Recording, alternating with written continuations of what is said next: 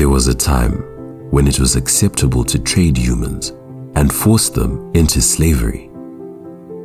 There was a time when it was acceptable for women to be denied a voice, treated as second-class citizens.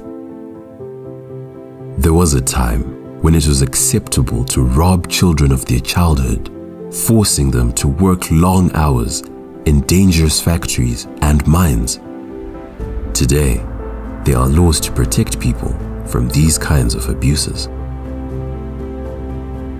But before the world woke up to these injustices, small groups of courageous people were clear in their view that change had to happen.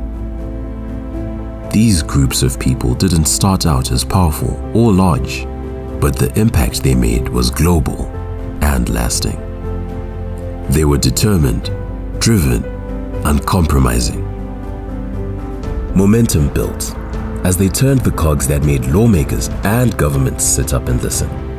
They swam against the tide to change laws, practices, and public opinion.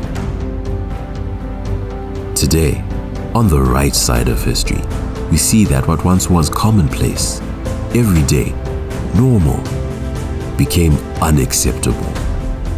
Orphanages do not protect children. They harm them which is why our mission is to be the catalyst for the global elimination of institutional care of children.